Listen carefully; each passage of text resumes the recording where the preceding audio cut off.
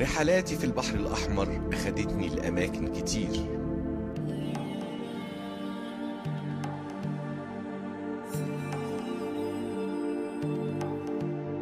كل مرة البحر بيفتح لينا بوابة لعالم جديد مشوق ومثير.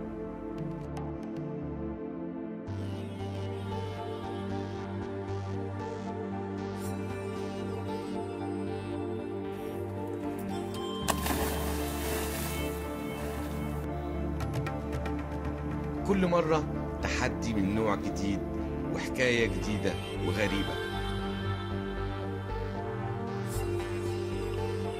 كل مرة بنزور فيها عالم تحت المية بنتعلم حاجة جديدة.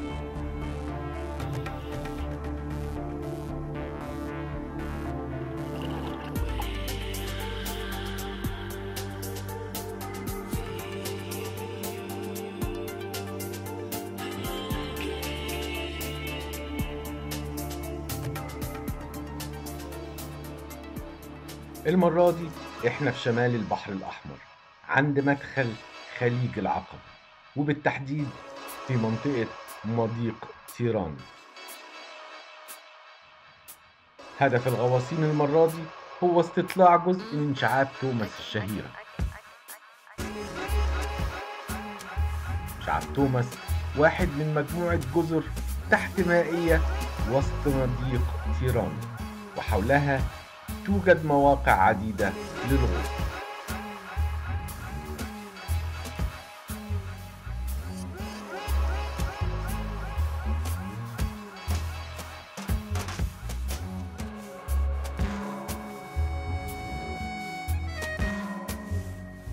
القوارب المطاطية تحمل الغواصين من يخوت الغوص إلى حافة شعاب توماس. هدف الغواصين هو زيارة فالق عميق يعرف باسم توماس كانيون يبدأ على عمق 35 متر وينحدر حتى يجاوز ال 90 متر.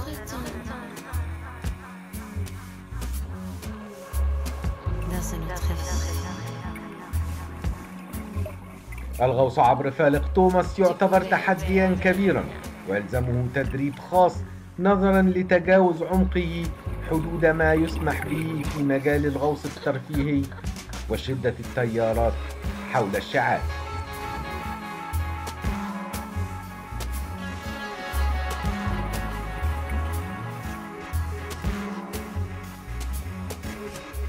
بين شعاب القاع تظهر بدايات الفالق.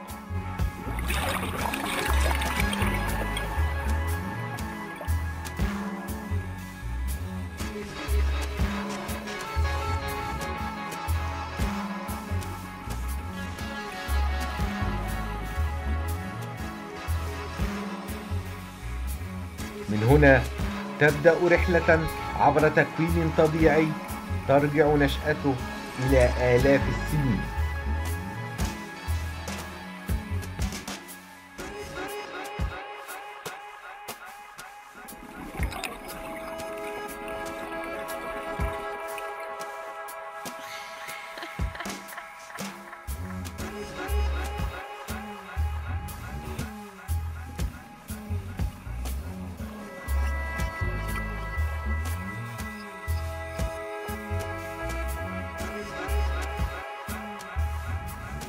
بين حوائط الفالق الرأسية يهبط الغواصون تدريجيا إلى القاع الرملي.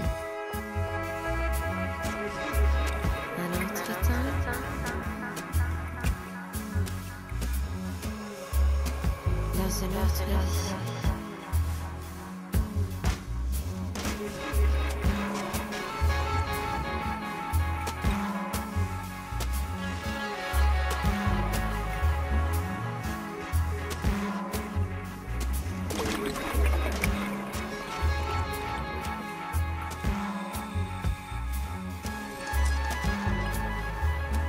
tu pouvais très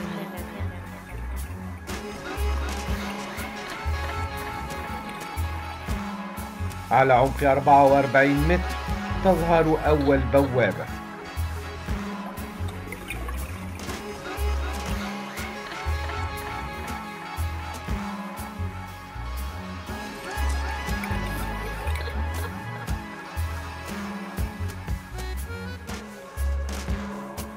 ضوء النهار يصل إلى هذا العمق ضعيفا ويبلغ الضغط هنا خمسة أضعاف الضغط عند السطح.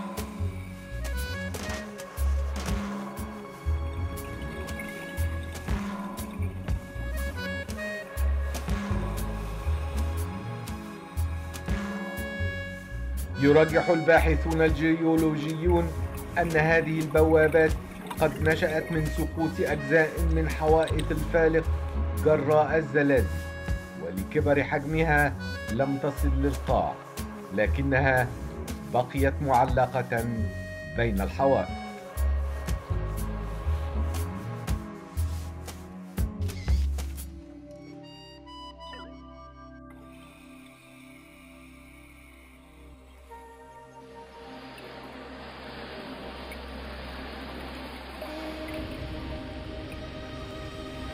في هذا الوسط يتوخى الغواصون الحرص في الحركة وعدم بذل مجهود كبير وكذلك لتجنب إثارة رمال القاع للحفاظ على مستوى جيد للرؤية.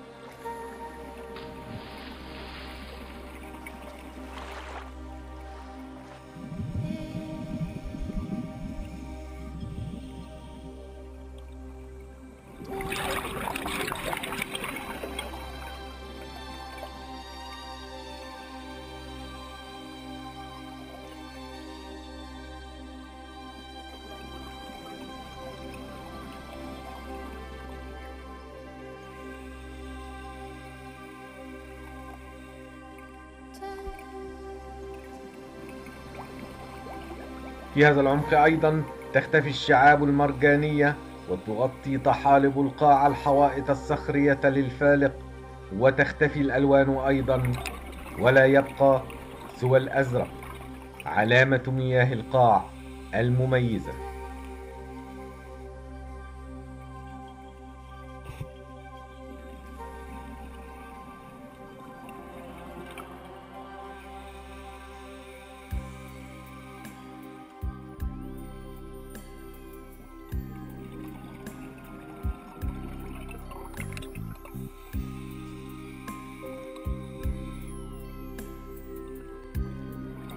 فتح الغوص التقني الباب للكثير من ممارسي الغوص لزيارة أعماق لم تكن متاحة من قبل.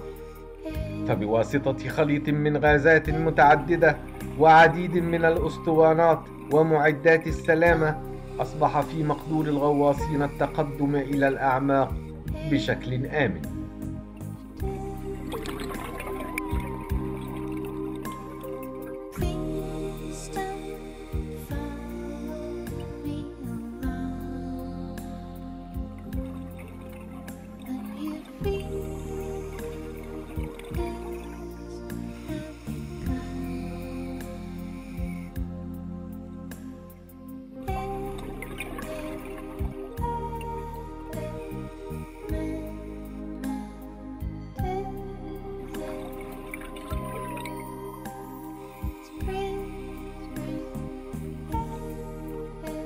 بين الحوائط الرأسية للفالق وعبر الصخور الكبيرة المعلقة بين الحوائط تتواصل الرحلة إلى الأعماق.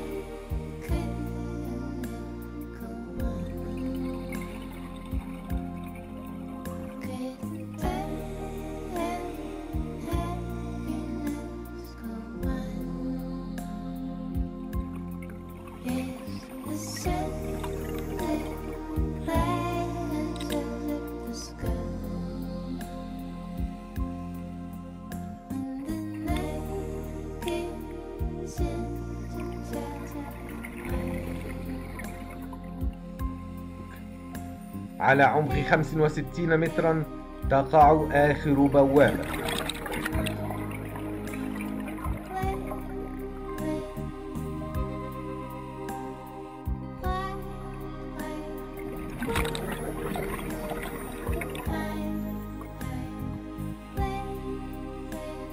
من هذه النقطة تبدأ رحلة العودة للسطح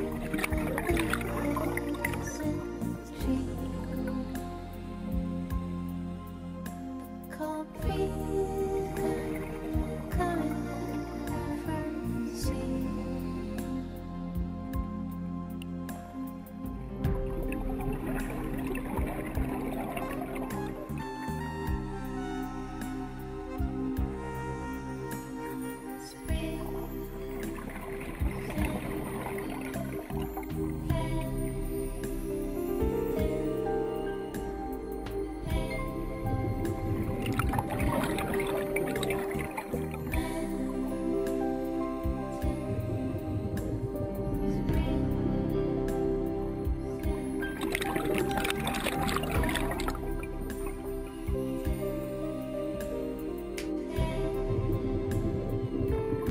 تدريجيا يقل العمق ويزداد الضوء وتعود الألوان مجددا.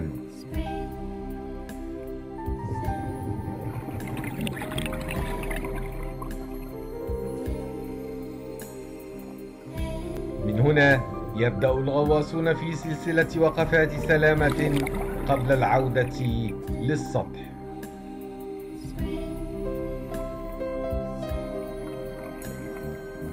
هي فرصة رائعة للاستمتاع بعالم الشعاب الخلاب قرب السطح حيث تنمو في المياه الدافئة أجمل الشعاب التي تحوي العديد من الأسماك ذات الأشكال والألوان البديعة.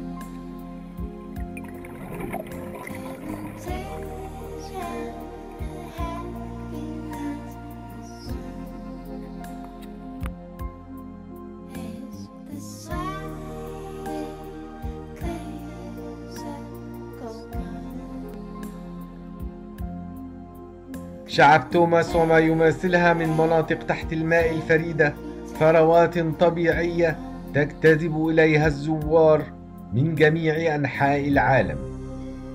وهي ملك لنا ولأجيالنا القادمة. لذلك نضم صوتنا لمن يدعون للحفاظ على هذه الثروة وحمايتها وحسن استغلالها.